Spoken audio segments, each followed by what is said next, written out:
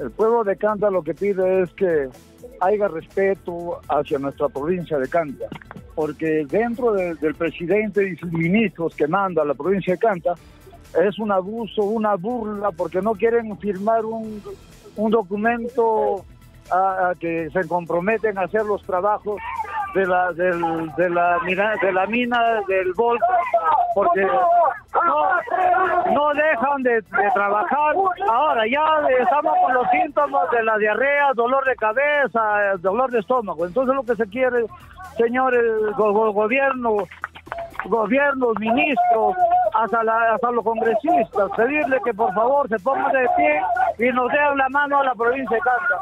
¿Qué le digo, señorita? Es una burla por Minsa, porque Minsa simplemente vino y ¿qué hacen? Ese metal que se ha caído en la cuenca del Valle del Chillón, ¿qué hace?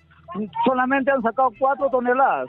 Son 34 toneladas que ha caído. Para cuatro toneladas que han sacado sigue contaminado el agua del Valle del Chillón. El presidente Castillo, que dice que es el presidente que ha, llegado por, por el pueblo de los pobres, quisiéramos que sea presente dentro de nuestra provincia de Canta.